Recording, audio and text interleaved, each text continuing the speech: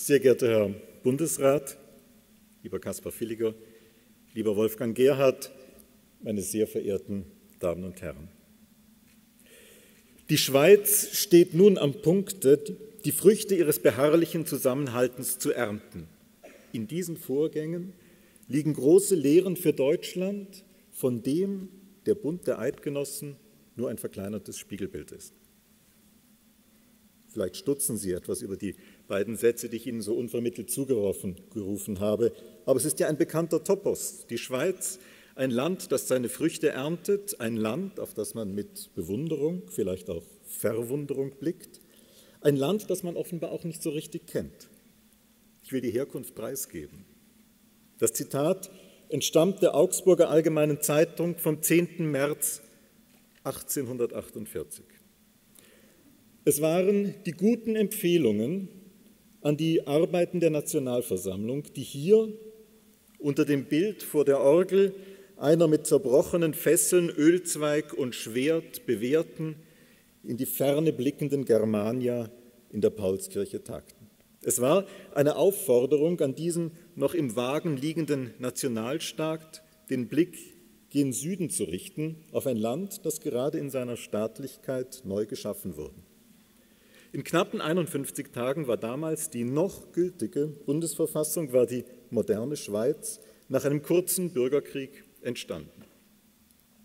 Es ist wenig bewusst, diese schweizerische Bundesverfassung übte neben der amerikanischen bis in einzelne Formulierungen hinein eine große Faszination und beträchtlichen Einfluss auf die Paulskirchenversammlung aus. Konzepte zur föderalen Kompetenzhoheit der Gliedstaaten, zu Außenbeziehungen und Heerwesen fanden ihre wörtliche Übernahme in den Entwurf der Reichsverfassung. Sogar die Institution eines den Staat lenkenden Direktoriums, analog dem Schweizerischen Bundesrat, wurde in diesem Raum diskutiert. Allerdings, so die Interpretation eines späteren, auch sonst zweifelhaften Historikers, habe man von dieser Regierungsform abgesehen, da, ich zitiere, der Deutsche Kollektiven gegenüber eher misstrauisch sei. Nun ja. Meine Damen und Herren, gestatten Sie mir noch eine zweite Vorbemerkung. Keine Sorge, es geht jetzt nicht um kontrafaktische Spekulationen. Im Gegenteil ist Ort und Anlass geschuldet, den Blick kurz auf die Entstehung der heutigen Schweiz als einem Produkt des Liberalismus zu richten den Tell und den Mythen Moorgartens zum Trotz die moderne Schweiz mit ihren politischen Institutionen, ihren Checks and Balances, ihrem eigenartigen Regierungssystem, diese Schweiz, die man vielleicht ein bisschen lieben muss, um sie zu verstehen, ist das legitime und vor allem das überlebende Kind der liberalen Bewegung von 1848. Sie ist das geglückte Realexperiment. Und es waren Liberale, auch hier, Radikale und Demokraten, die in der Gemengelage des, der politischen Kraftfelder des freiheitlichen, des genossenschaftlichen und pluralistischen, wie es unser Preisträger umschreibt, den republikanischen schweizerischen Bundesstaat schufen. Es waren Liberale, die ihn zum Zufluchtsort vieler Männer der Paulskirche machten, und es waren nebenbei bemerkt auch radikal-liberale Montagnards, die sogar als einzige damals der preußischen Krone einen bleibenden Territorialverlust zufügten, nämlich das Fürstentum Neuenburg. Es war die Partei des Schweizer Freisinns, welch schöner Name, der es 1894 gelang, die liberalen Strömungen zu einen. Zur gleichen Zeit, notabene, in der die deutschen Liberalen zersplitterten und erst 1918, so viel Referenz an Friedrich Naumann muss sein, in der DDP wieder zusammenfanden. Der Schweizer Freisinn dagegen prägte den Staat unangefochten als dominierende staatstragende Kraft. Das heißt, bürgerliche und wirtschaftliche Freiheiten, Föderalismus, Minderheitenschutz, aber auch die in der Folge entwickelten Formen der direkten Demokratie 1874 Gesetzesreferendum, 1891 Verfassungsinitiative, die heute das Außenbild, aber auch das Selbstverständnis der Schweizer Demokratie ausmachen, sind allesamt Produkte dieser liberalen Epoche. Der Liberalismus, so formuliert das historische Lexikon der Schweiz, prägte ab 1830 die schweizerische Gesellschaft Nach 1945 nahm er wieder eine führende Rolle ein, die er auch zu Beginn des 21. Jahrhunderts innehat. Die Schweizer Liberalen, liebe Nicola Beer, sind wohl die einzige Partei Europas, die seit 168 Jahren ununterbrochen Regierungsverantwortung trägt. Welch einzigartige Situation!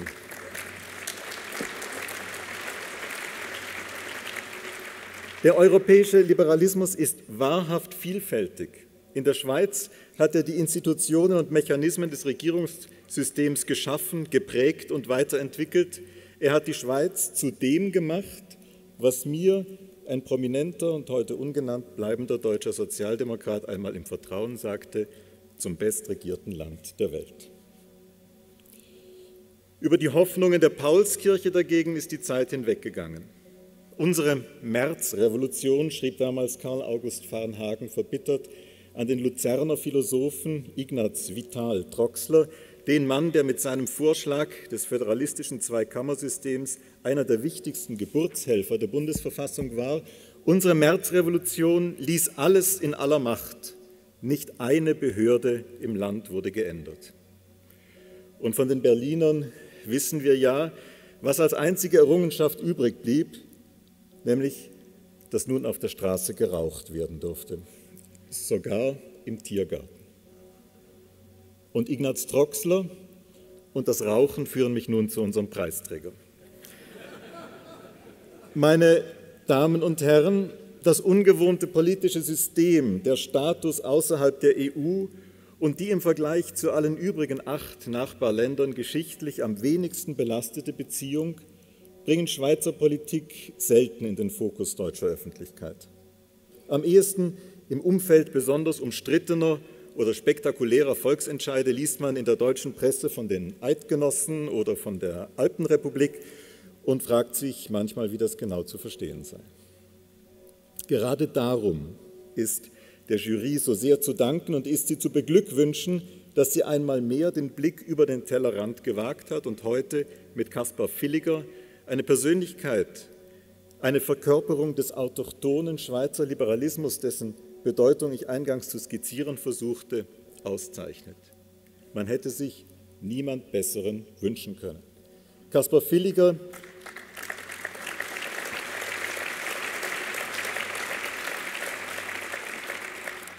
Kaspar Villiger, ich sage das hier mit Überzeugung, ist der bedeutendste liberale Staatsmann, den die Schweiz in den vergangenen 30 Jahren hervorgebracht hat. Ich weiß, mit den Superlativen ist das in der Schweiz so eine Sache. Bloß keine Lobhudelei. Die unverrückbare Maxime Schweizer Magistraten lautet servir et disparaître. Es gilt, zumal in der an Konkordanz orientierten Politik in einer Kollegialbehörde hohe Leistung und Popularität stets innerhalb einer Bandbreite zu halten, die Bodenhaftung garantiert. Exzellenz blüht immer unter dem Schutz des Understatements, denn wer zu weit über seine Peers hinausragt, läuft rasch Gefahr, suspekt zu werden. Da trägt die liberale Schweiz ganz egalitäre Züge. Nur ganz wenige bleiben in diesem Land eine so unbestrittene, anerkannte Autorität wie Kaspar Villiger und das will etwas heißen. In einer Laudatio darf man loben und dazu gibt es reichlich Grund. Meine Damen und Herren, wer einen Politiker preist, muss sein Werden und Wirken darstellen, muss das Faktische zeigen. Lassen Sie mich Ihnen also den Träger des Freiheitspreises 2016 näher vorstellen. Kaspar Villiger ist Luzerner, entstammt also eigentlich der traditionell katholisch-konservativ geprägten Zentralschweiz. Allerdings liegt das heimische Pfeffikon hart an der Grenze zum Aargau, in einer ländlichen Gegend, die wegen des verbreiteten Tabakanbaus auch den Namen Stumpenland trägt. Er wird in eine liberale Familie unternehmerischer Männer und Frauen, ja auch Frauen, hineingeboren, die in zweiter Generation die Zigarrenfabrik Villiger führt. Nach dem Besuch der alten Kantonsschule Aarau, der gleichen übrigens, in der einstmals auch Albert Einstein sein Abitur nachholte, entscheidet sich Villiger für ein Studium des Maschinenbaus an der Eidgenössisch-Technischen Hochschule, das er 1966 mit einer Arbeit über Nukleartechnik abschließt. Dabei So in einem frühen Porträt sei es weniger die Technik an sich als vielmehr der intellektuelle Reiz der dahinterstehenden mathematischen und physikalischen Gesetzmäßigkeiten gewesen, der ihn faszinierte. Das lässt sich nachvollziehen. Diese Neugier auf dem Weg der Empirie systemische Zusammenhänge in einem an Naturwissenschaften geschärften Denken zu ergründen, zieht sich wie ein roter Faden durch Villigers Reden und politische Schriften. Er ist ein Analytiker. Auf der Suche nach der inneren Mechanik politischer Prozesse, der konzeptionellen Ausrichtung von Institutionen mit dem Ziel, den handelnden Individuen den richtigen und vor allem nicht die falschen Anreize zu setzen, kombiniert er praktische politische Erfahrung mit den Erkenntnissen moderner Verhaltensökonomie.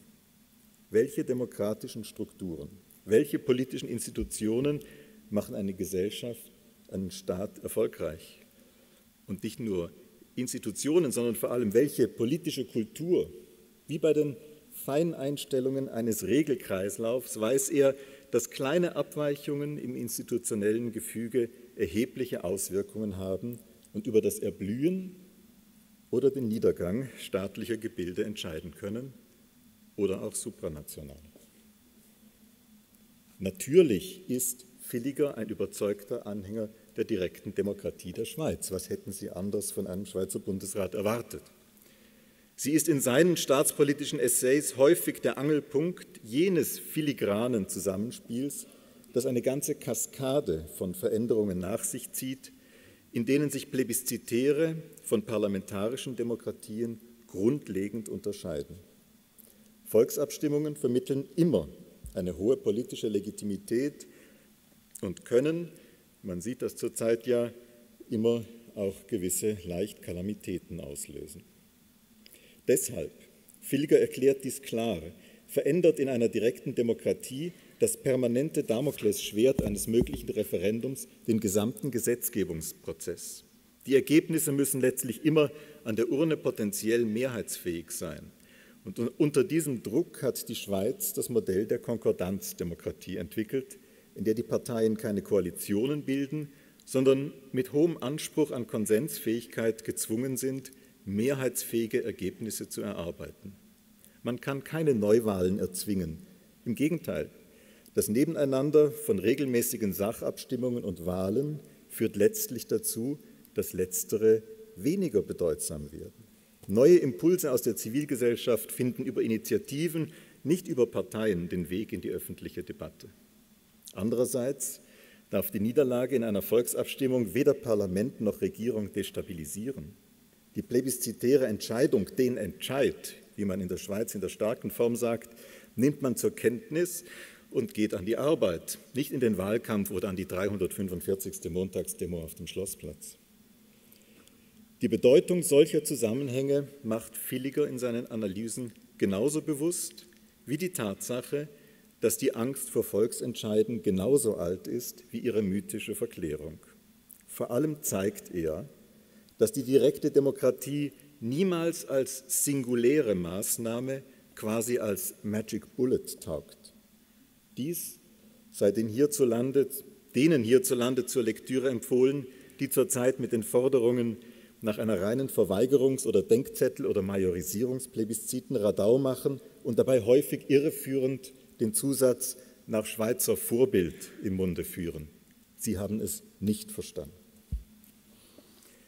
In seinen politischen Analysen formuliert Villiger, ganz Ingenieur, sachlich klar, enumeriert gerne Problemfelder und logisch abgeleitete Lösungsstrategien. Ja, in der Form ist es stets, wie die NZZ einmal feststellte, eher der, die protestantische Nüchternheit, die ihn auszeichnet, als opulent barockes Lebensgefühl der katholischen Innerschweiz.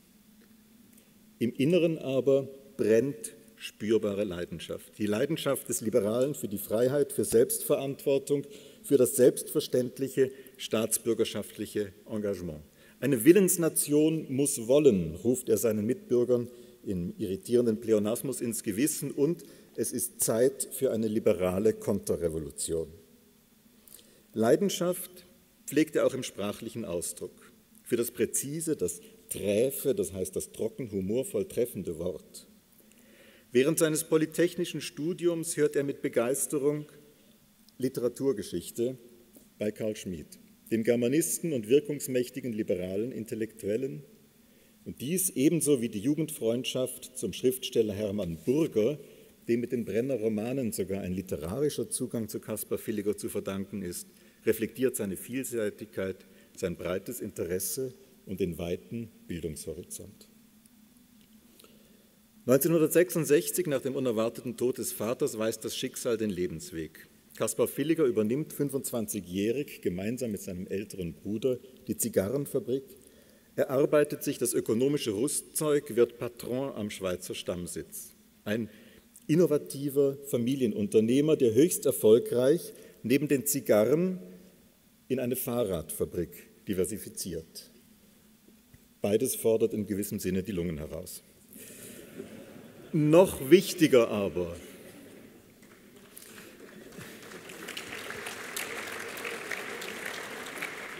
noch wichtiger aber, der Unternehmer Villiger sieht sich unmittelbar mit der Realität des ökonomischen Umfelds und der Bedeutung wirtschaftspolitischer Rahmenbedingungen konfrontiert. Das politisiert ihn. Sein Impuls zum Engagement entfaltet sich im nebenberuflichen Milizprinzip.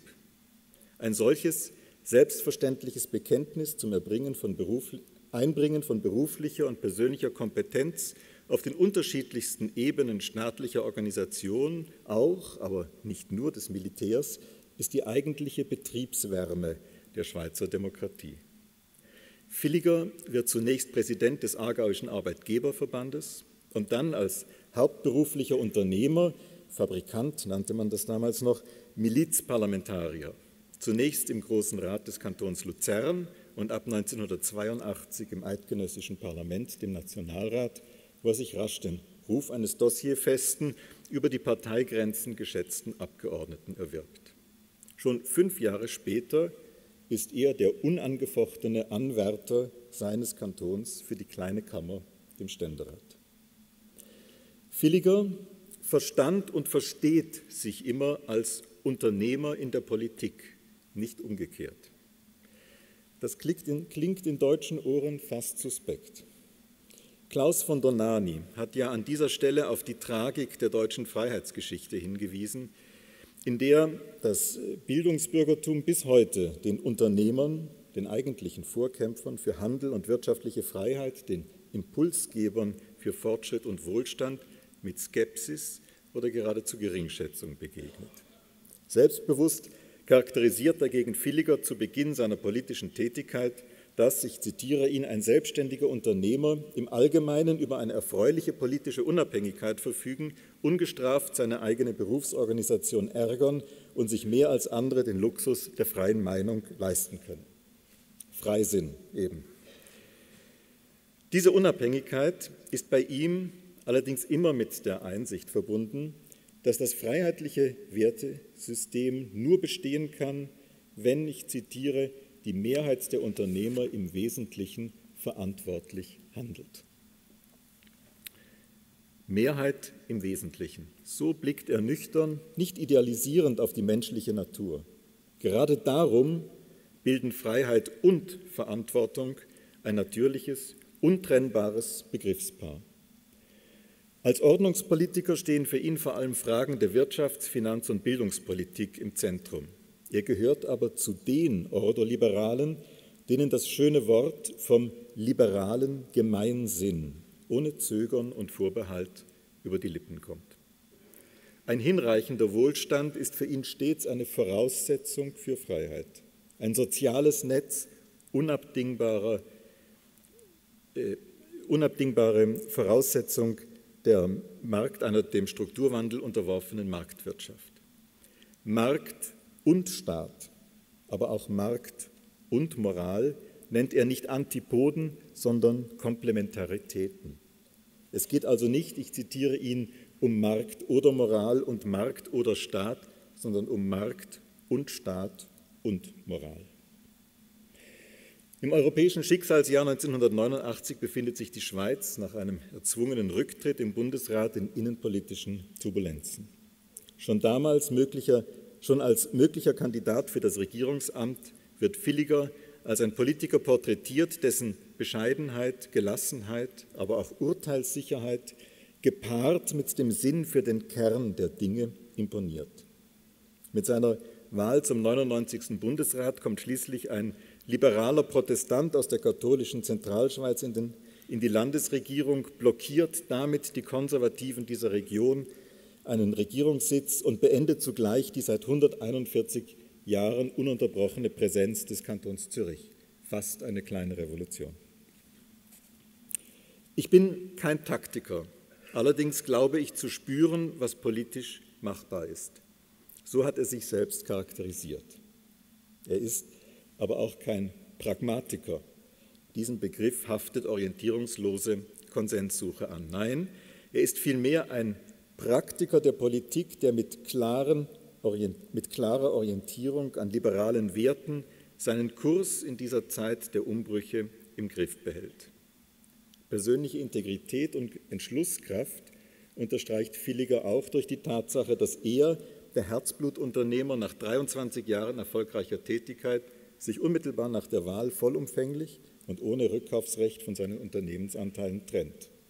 Der Wert persönlicher Freiheit war ihm wichtiger als das Fortführen einer Familientradition. In der Schweiz werden Ministerien nicht nach Wahlresultaten oder in Koalitionsabsprache vergeben, sondern nach dem Anciennitätsprinzip. Wer schon länger im Amt ist, darf zuerst Wünsche äußern. Villiger erhielt das Militärdepartement war von 1989 bis 1995 Verteidigungsminister. In dieser Zeit, in der sich die geopolitische Bipolarität militärischer Blöcke in Europa auflöste, rang das Land um seine Identität. Denn kurz nach dem Fall der Berliner Mauer stimmte die Bevölkerung über eine Volksinitiative zur Abschaffung der Armee ab. Für einen Verteidigungsminister eine ziemlich essentielle Sache und für das traditionsbewusste Land eine emotionale Erschütterung. In deren Folge wurden weit über die Reform und vollständige sicherheitspolitische Neuausrichtung der Streitkräfte hinaus Themen der staats- und gesellschaftspolitischen Selbstvergewisserung und Öffnung für Villiger zentral. Gerne hätte er damals auch sein Land nicht in die EU, aber in den EWR den Weg gewiesen, bei dieser legendären Abstimmung unterlag 1993 aber der liberale Mut einer nationalkonservativen Angst um Haaresbreite. Für das Jahr 1995 wurde Villiger turnusgemäß erstmals zum Primus inter pares, zum Bundespräsidenten gewählt. In einer historischen Rede vor der Vereinigten Bundesversammlung fand er zum 50. Jahrestag des Kriegsendes das richtige Gleichgewicht zwischen dankbare Erinnerung an die Generation des sogenannten Aktivdienstes und kritischer Hinterfragung mutloser Facetten der Politik während des Zweiten Weltkriegs. Es steht uns als Nachgeborenen, auch als nachgeborenen Deutschen, nicht zu, über die Politik der Schweiz in dieser Zeit pauschal zu urteilen oder wohlfeile Kritik zu üben. Aber das Eingeständnis, dass die Schweiz gegenüber Juden, die an der Grenze zurückgewiesen wurden, Schuld auf sich geladen hat und seine im Namen des Bundesrates ausgesprochenen Worte des tiefen Bedauerns und der ehrlichen Entschuldigung wurden nicht nur von der jüdischen Gemeinde der Schweiz mit großer Genugtuung und Dankbarkeit aufgenommen. Er ist ein Mensch, sagte Sigi Feigl, der Vorsitzende der israelitischen Kultusgemeinde über Villiger, und meinte damit, was alle empfanden. Es bedurfte der moralischen Autorität eines Kaspar Villigers, nicht nur seine Regierungskollegen von der Notwendigkeit eines solchen Schrittes zu überzeugen, sondern auch ein solches Schuldgeständnis öffentlich auszusprechen, ohne damit in einem durch die Diskussion der Geschichte aufgewühlten Land neue Gräben aufzuwerfen. 1995, nach einer neuen Vakanz im Bundesrat, übernahm Villiger, jetzt konnte er wählen, das Finanzdepartement. Hier waren sein ordnungspolitisches Denken, seine unternehmerischen Fähigkeiten, wirtschaftlichen Kenntnisse und sein Kommunikationstalent erst recht gefragt. Stichworte erwähnt seien die Debatte um nachrichtenlose Vermögen auf Schweizer Banken, der erfolgreiche Abschluss eines Zinsbesteuerungsabkommens mit der EU und das notwendige Handeln beim Grounding der Swissair. Doch über die Aufgaben des politischen Alltags hinaus sind es vor allem zwei erfolgreiche Großprojekte, mit denen das liberale Denken und Handeln Villigers bleibende Spuren hinterlassen hat. Mit Villigers Amtsantritt als Finanzminister wurde die finanzielle Sanierung des Bundeshaushalts zur vordringlichsten Aufgabe. Das jährliche strukturelle Defizit bemaß sich damals auf 5 bis 9 Milliarden bei Gesamtausgaben von rund 40 Milliarden Franken. Anstatt um einzelne Haushaltstitel im Parlament zu feilschen, suchte er in einem nachhaltigen, liberalen und konzeptionellen Ansatz eine Lösung dieser Schieflage. So gelang es ihm zuerst in langwierigen Verhandlungen mit allen Parteien und wesentlichen Interessengruppen, eine bindende Ausgabenbegrenzung festzuschreiben. Mit einem Strauß im Voraus definierter, alle Interessengruppen gleichermaßen treffender Sanktionen im Falle einer Überschreitung wurde die kohärente Strategie verfolgt, das strukturelle Defizit des Bundes zum Verschwinden zu bringen. Das war so erfolgreich, dass bereits im Jahr 2000 statt des vorgesehenen Fehlbetrags wieder ein Gewinn von 4,5 Milliarden verbucht werden konnte, worauf sich umgehend die Begehrlichkeiten der Politik aller Couleurs, Sie haben es schon angesprochen, ankündigten. Das Schumpeter zugeschriebene Diktum, wonach ein Hund eher ein Wurstlager anlegt, als ein demokratisches Parlament spart, schien sich zu bewahrheiten. Dies antizipierend überführte Villiger seine glaubwürdige und erfolgreiche Finanzpolitik in die Erarbeitung, es wurde schon erwähnt, der ersten in der Verfassung festgeschriebenen Schuldenbremse. Das heißt, in eine globale Vorgabe, die restriktiv genug ist, um Budgetdisziplin einzufordern und ausreichende Flexibilität aufweist, um auf Konjunkturschwankungen reagieren zu können. Mit anderen Worten, in, guten, in Zeiten guter Konjunktur müssen zwingend Überschüsse erwirtschaftet werden, damit in schlechten Zeiten auch konjunkturelle Impulse gesetzt werden können. Diese Schuldenbremse wurde, und hier erkennt man die großen Stärken der direkten Demokratie, in einer Volksabstimmung mit überwältigenden 85 Prozent Ja-Stimmen angenommen. Was, wie es in einem Kommentar hieß, auch dem letzten Hinterbänkler klarmachte, dass es wie früher nicht weitergehen konnte. Seit 2003 wird die Schuldenbremse bei der Budgetierung des Bundes eingesetzt. Dank des inhärenten Mechanismus, dass Defizite getilgt, Überschüsse aber bestehen bleiben, haben seither die Bruttoschulden des Bundes um 20 Prozent auf 104 Milliarden Franken abgenommen und die Verschuldungsquote sank von 26 auf 16 Prozent des BIP. So sieht eine nachhaltige, verantwortungsvolle, eben liberale Finanzpolitik aus. In Anlehnung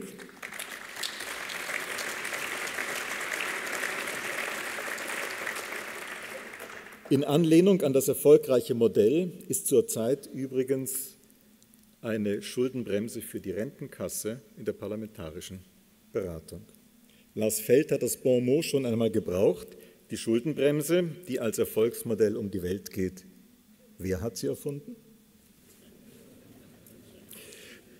Es wäre aber nicht Villigers Art, wenn er die Schuldenbremse nicht in ein breites Konzept einer kohärenten Finanzpolitik eingebettet hätte. Das noch größere und komplexere Reformprojekt, das mit seinem Namen verbunden ist, ist die große Föderalismusreform der Schweiz, die Neugestaltung der Aufgabenteilung und des Finanzausgleichs.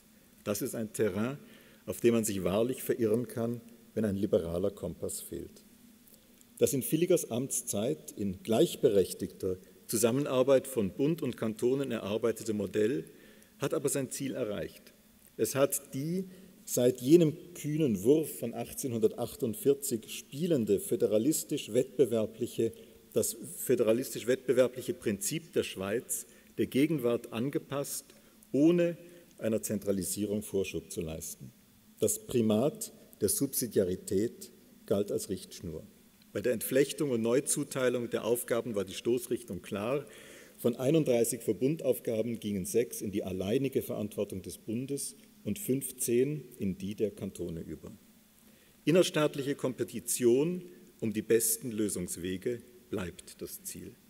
Hier sei daran erinnert, dass in der Schweiz neben dem Bund auch die Kantone und Gemeindesteuern, nicht nur Unternehmenssteuern, sondern auch Einkommens- und übrigens auch Vermögenssteuern von natürlichen Personen mit lokal unterschiedlichen Steuersätzen erheben. Das ist der politisch autonom gestaltbare Faktor für Standortattraktivität und damit innerstaatlichen Wettbewerb. Gleichzeitig liegt hier die Voraussetzung des fiskalischen Äquivalenzprinzips, das heißt, ein von einer Ebene benötigte oder gewünschte Aufgabe wird von dieser entschieden, durchgeführt und auch finanziert. Das sichert Effizienz. Dass das Privileg dieser Freiheit aber auch Haftung bedeutet, wurde am berühmten Beispiel der Gemeinde Leukerbad deutlich, die Ende der 90er Jahre wegen zu hoher Verschuldung bankrott ging, ohne dass der Kanton als übergeordnete Trägerschaft eingesprungen wäre. Die Gemeinde hat noch heute den höchsten Steuerfuß im Kanton und zahlt ihre Schulden immer noch ab. Eine Erfahrung, die andere vorsichtig werden ließ. Natürlich benötigt auch dieses System einen Finanzausgleich zwischen starken und schwachen Gliedstaaten. Und dabei gelang es über die Definierung eines sogenannten Ressourcenpotenzials, also der potenziell fiskalisch ausschöpfbaren Wertschöpfung, ein Maß für die Wirtschaftskraft zu finden, die den Anreiz für Wettbewerb auf einer fairen Basis enthält. Auch dieses Projekt hat im vergangenen Jahrzehnt seine Wirksamkeit und Funktionsfähigkeit unter Beweis gestellt. Es gilt unter Experten als beispielhaftes wettbewerbliches Föderalismusmodell. Ein Schelm, wer jetzt an ein liberales Europa denkt. Nach 15 Jahren im Bundesrat und einem zweiten Präsidialjahr, in dem er die Schweiz als 190. Mitgliedsstaat in die Vereinten Nationen führte, trat Villiger 2003 zum Ende der Legislaturperiode von seinem Amt zurück. Kein inszenierter Knalleffekt, keine wahltaktischen Pirouetten, kein selbstgefälliges Ego-Marketing, schrieb die NZZ. Er blieb sich treu und freute sich, aus der Öffentlichkeit zu verschwinden, eben servir et disparaître. Als Pendler zwischen Politik und Wirtschaft kehrte Villiger nach einiger Zeit noch zu letzterer zurück. Er wurde Verwaltungsrat bei Swiss Re, Nestle und bei der AG für die Neue Zürcher Zeitung. Übrigens auch diese nicht nur inhaltlich eine besondere Institution des Schweizer Liberalismus. Kein Inhaber darf mehr als ein Prozent des Kapitals besitzen und überhaupt darf nur Aktionär werden, wer sich zumindest schriftlich zur freisinnig-demokratischen Grundhaltung bekennt. Das liberale Bürgertum leistet sich seine Zeit. Mitten in den Turbulenzen der Finanzkrise erreichte Villiger aber nochmals gewissermaßen der Ruf des Vaterlandes. Wiederum war es seine moralische Autorität, ja personifizierte Integrität, die gebraucht wurde, um als Verwaltungsratspräsident einer wegen Maßlosigkeit und Gier knapp dem Konkurs entgangenen UBS den Neuanfang zu sichern und die Bank in ruhigeres Gewässer zu steuern.